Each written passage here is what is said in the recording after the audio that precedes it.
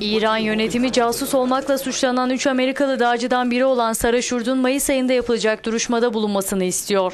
Şurd'un avukatı ise müvekkilinin 11 Mayıs'taki duruşmaya katılmasını beklemediğini belirtti. Sara Şurd, George Fettel ve Shane Bauer Irak sınırından yasa dışı yollarla İran'a geçtikleri gerekçesiyle 2009 yılının Temmuz ayında tutuklanmıştı. Şurd geçen Eylül'de 500 bin Amerikan doları karşılığında serbest bırakılmıştı.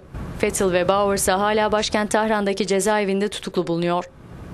Şubat ayında yapılan ilk duruşmada hazır bulunan Fettel ve Bauer suçlu olmadıklarını ifade ederken Şurt duruşmaya katılmamıştı. Washington ise vatandaşlarının casus olduğu iddialarının asılsız olduğunu savunuyor.